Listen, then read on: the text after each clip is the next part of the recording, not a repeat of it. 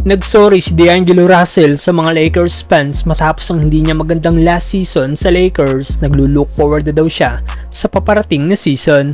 Matapos kunin ng Lakers si Dilo mula sa trade na ginawa nila kay Russell Westbrook at umabot ang Lakers sa West Finals noong 2023. Binigyan nga po ito ng nasabing team ng 2-year deal last off-season na nagkakahalaga ng 36 million US dollar.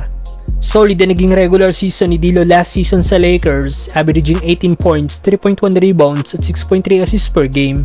Ganda rin ang outside shooting ng Lakers guard na may 41.5% shooting percentage na second best sa Lakers pero dahil sa pag struggle ng Lakers na makakuha ng panalo, si Dilo ang pinakamatunog na pangalan na nalilink sa mga trade rumors ng team. Pero dahil walang trade deal na nahanap ang Lakers, natapos pa rin ni Russell ang regular season bilang isang Lakers.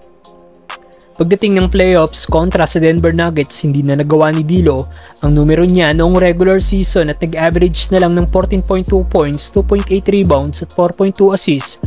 From 41.5% na outside shooting, bumagsak din ito sa 31.8% na lang. 0 points din si Dilo noong Game 3 series nila sa Denver Nuggets kung saan 24 minutes ang nakuha niyang playing time. Pero ngayong papasok na ang bagong season at nasa huling taon na ng kanyang kontrata si Dilo, nagsorry nga pong Lakers guard sa mga Lakers fans dahil sa Lakers Media Day kanina.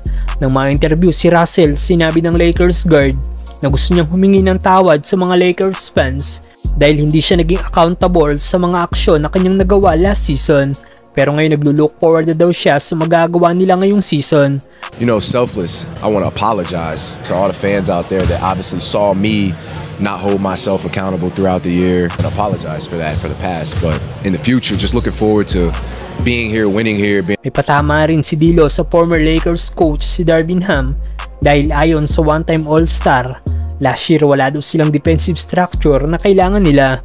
Pero ngayon sa bago nilang coach si JJ Redick, Meron daw silang defensive structure na kailangan na kailangan nila. Makabawi nga kaya si D'Angelo Russell ngayong season mga brother.